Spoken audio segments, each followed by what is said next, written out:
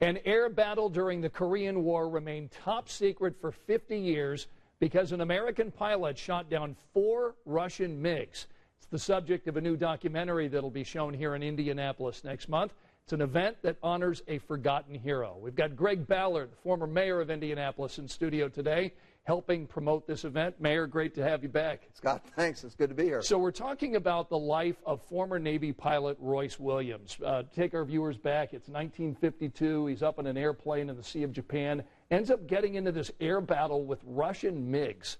Tell us about what happened. Well, the, the amazing thing, the most important thing about this is we were not at war with the Soviet Union. We were the only two nuclear powers at that time. People were very scared, and we're in the Korean, in the middle of the Korean War, and Royce didn't actually know who he was fighting. He knew there were Soviet MiGs involved, but he didn't know they were actually so Soviets in the plane.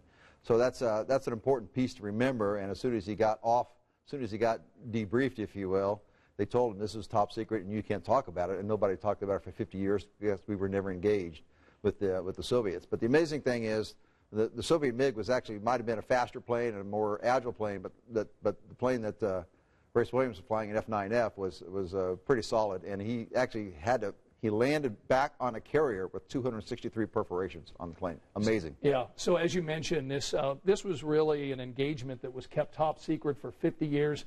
Now it's this inspiration for this new documentary called Forgotten Hero. Tell us a little bit about that uh, documentary. Yes. Uh, uh, upcoming in August, August 16th on Thursday night at 7 o'clock at the War Memorial Building. It's a fundraiser for the Indiana War Memorials to, to make sure we can keep those up. And uh, he's coming in. He's, he's lively. He's ready to go. He's over 90, obviously, but he's flying in from San Diego, California, to be with us that particular evening.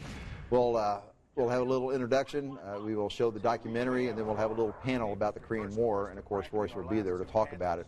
And uh, we'll have a question and answer session too for everybody. This is so important uh, because the proceeds go to benefit the Indiana War Memorial. It's so important to our city. Can you talk a little bit about that?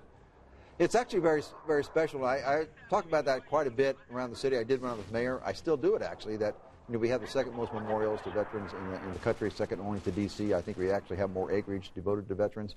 Uh, we really feel that in our in our bones, if you will, uh, in the state of Indiana about how much we appreciate the veterans, and we want to keep up all these memorials as mm-hmm. best as we possibly can. And there's a War Memorials Foundation, and I'm on the board.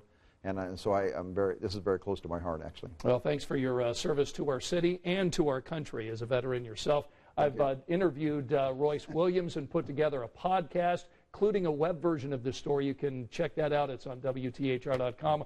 Mayor Ballard, always great to have you in studio. Thank you so Come much. on back anytime. Appreciate it.